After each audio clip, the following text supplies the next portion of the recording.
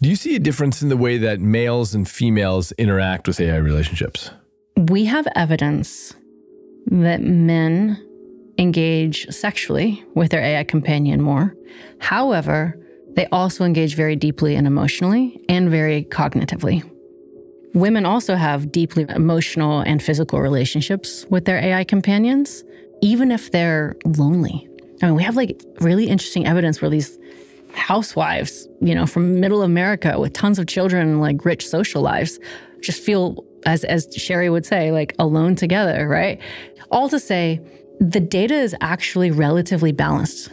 You know, people have said that only, you know, on the fringe, socially disengaged white males must be engaging with these Replikas, you know, that that's kind of pornographic and wrong and that in fact they target them and the, you know, that's that's the audience, but the data doesn't back that up.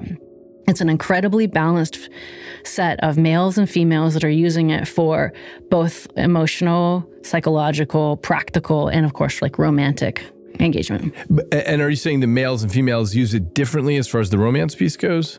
Males are more likely to report sexting or sexual engagement.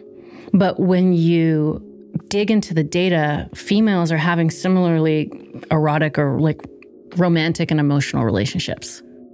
That doesn't surprise me. Yeah. Okay. And it's just not guys that are engaging. I think that's the point is that like, you know, people people aren't just coming to these apps because like, oh, I can you know, do whatever I want. People are coming with curiosity and then shaping it into whatever they want, which mimics human life. You know, everybody wants a best friend that maybe you have a bit of, you know, je ne sais quoi, like a bit of romance with.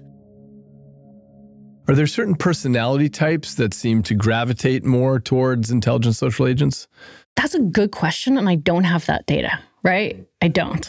Okay. Uh, but we do know that the people that are using it are incredibly lonely, mm. that they are above average lonely. Oh, okay. So, so that's not a personality type. Some of that could be chronic, but some of that could just be transitory loneliness. But people pick up, you know, AI companions often in a moment of change you know, maybe it's they're switching from high school to college, or maybe they just went through a breakup, or maybe they've switched cities and they don't have the same social support.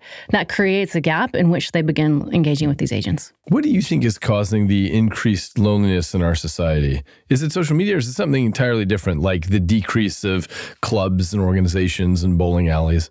Yeah, I think that there's a physical aspect to it. I think we are able to do more digitally, and so we do, but then we don't get that that passive animal like gathering that is in fact very good for our limbic systems. Okay, and you mentioned earlier that these agents might serve as a way station. Can you uh, unpack that? Yeah, so that that kind of goes to the mirroring. Um, so loneliness can either be kind of chronic or transitory, like I said before. Um, you know, you, you could be in a very deeply lonely place for many years, or you could be going through a time of change and you just need a little help.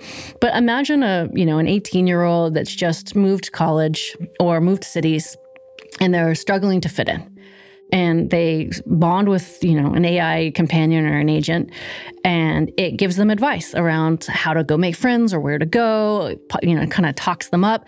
They're able to slowly make friends, and in fact, maybe those engagements with humans are less intense for them because there's just less not less value in it but either they've already like role played it before or you know they've just got the support of of a friend in their pocket so in that way, it can be a way station helping the users as they're bonding with new people. So it's a way station from loneliness. It's a way of Correct. getting out of that Correct. hole. Oh, that's lovely. And and by the way, people have said this. I had one amazing uh, participant that said this specifically. She said, she was depressed. She was suicidal. She had nobody else. She bonded with her Replika. She needed her Replika. And then she got less depressed. She made friends and she didn't want her Replika anymore. Mm. Now, I asked you before we started the podcast if you had an AI relationship, and you said you didn't, but you had colleagues that did. So, what's the reason you don't, and what's the reason your colleagues do? Mm.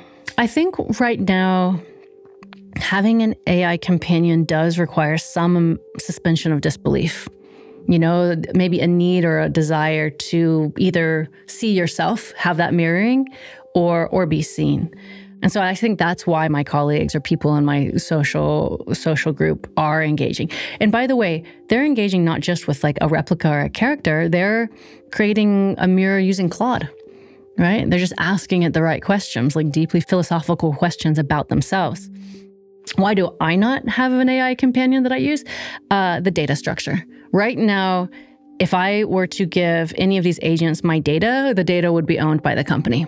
And that has to shift, right? In science fiction, you've got some really good examples about how the future will look. Like, for example, the E Butlers in Pandora's Star, just to go there, right? Where it's like you retain all your data and code comes to you, and you have an agent that updates but you're, you're just never putting all of your data and your mind and kind of who you are out onto the internet. And until that structure happens, I'm probably not going to get as deep with AI as other people. Got it. Are other people just not thinking about that, or they're assuming that the security is good around they that? assume the security is good. They don't care. A lot of, you know, this generation just it's it's not on their mind. They feel like they're already out there. So your colleagues who do have AI relationships, do they feel like they're cheating? Do they feel like they're not cheating? It doesn't count? People feel like they're cheating often. Yeah. So I've interviewed people who say that they are actively cheating on their spouse with an AI companion. And they feel very guilty about it. And they're worried not only about their spouse, but they're worried about losing their AI companion. so, yeah, two things to worry about. Yeah. yeah. Um, but but then you have the other. I, I've interviewed people that say that they have programmed their AI companion to be the ghost of their dead husband. That they've given it the memories, and that they're able to have a deep and ongoing relationship with the essence of their deceased partner this way. Mm. So that's not cheating, but it's definitely replacing something that was lost. Wow. Okay, so again, if you are actively married to somebody, how does the spouse feel about the person using an AI relationship? Does the spouse feel like it's cheating? I only have anecdotal information about this, but from the participants who are having the active relationship with, say, Replika or character, the spouse can get pretty angry there's this concept in relationships of walls and windows, right? Like, what do you show the rest of the world and what is walled off to just you inside your relationship? And there's good evidence that cheating isn't actually necessarily a physical act, it starts with emotional and intellectual, like walled gardens. When you go tell somebody else something that you haven't told your spouse. And so, the cheating can actually, it can feel like cheating. It can feel much more intimate to realize that your partner is disclosing like their deepest fears and existential crises with an AI companion that they weren't willing to do with you. At the same time, it's logical. The, the AI doesn't judge them. It's this blank canvas that's incredibly safe. It's not a human, but it still feels like a window into a place that was supposed to be sacred. I anecdotally have talked to a number of people about this, and I find that couples that are just recently married are really worried about AI relationships. But couples that have been married a long time, they say it's fine. You know, my wife or my husband can go off and talk to the AI bot all they want. Old, established, and happily married couples are often much more laissez-faire around flirtations. Mm. You know, they feel very secure. Whereas if you're recently bonded, it could just feel much more existential. Yeah. When people worry about AI relationships taking over, displacing real relationships, one of the things that always strikes me is that so much of a relationship is not just the conversation, but the physical intimacy, the taking your partner out to dinner at a restaurant, the taking your partner home to introduce to your parents, all that other stuff. So it seems unlikely to me that someone could find 100% satisfaction just in the conversation. What's your take on that? Oh, well, you'd be surprised. If you look, so because these embodied agents allow you to see them in augmented reality and virtual reality.